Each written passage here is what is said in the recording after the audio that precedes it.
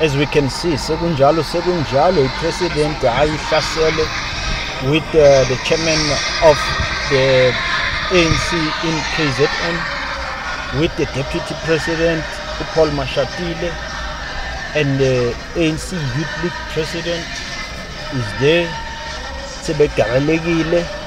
And please don't forget to subscribe. Keep watching